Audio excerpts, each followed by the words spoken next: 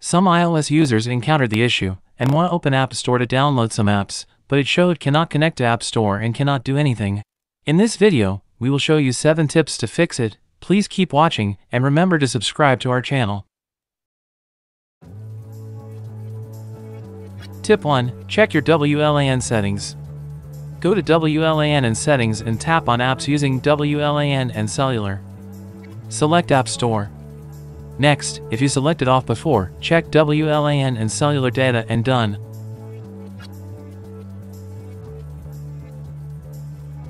Tip 2. Reconnect Wi-Fi. If your Wi-Fi is unstable, select it in WLAN and tap on Forgot this network. Then, reconnect the Wi-Fi.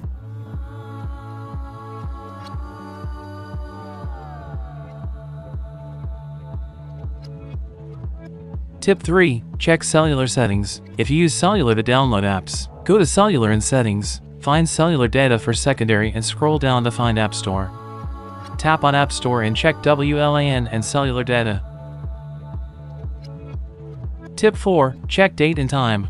You need to make sure that the date and time on your device are set correctly for your time zone. Go to Settings to find General. Tap on Date and Time. Turn on Set Automatically. Tip 5. Reset Network Settings. Go to Settings to find General. Scroll down to find Transfer or Reset iPhone. Tap on Reset and select Reset Network Settings. Tip 6. Force Restart iPhone. Force restarting your iPhone will refresh the software on your iPhone and likely fix whatever's gone wrong.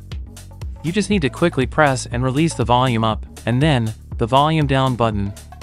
Next, press and hold the side button until you see the Apple logo.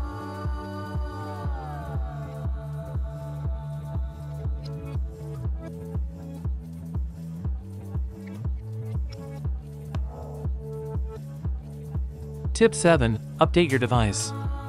Major updates don't just fix issues, they also bring new privacy and security settings that improve your safety and better protect your personal information. When your App Store not working, you can try to update your device to the latest iOS version. If these tips are not working, please check the bonus tip to download apps without App Store. Run AnyTrans and connect your iPhone to PC or Mac via USB cable. Next, select App Downloader. Click to sign into your Apple ID.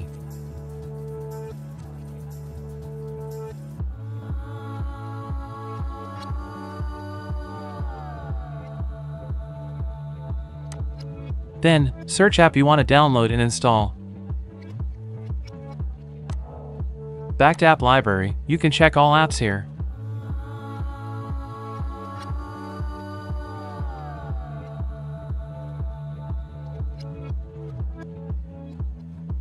When the app is downloaded, click Install.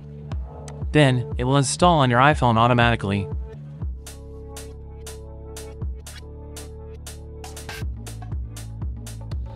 That's all tips. If you think they are useful, like and share, and remember to subscribe to our channel to get more tips.